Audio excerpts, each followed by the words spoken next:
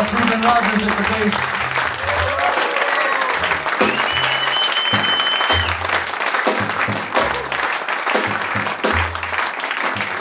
That's Reuben Rogers at the bass.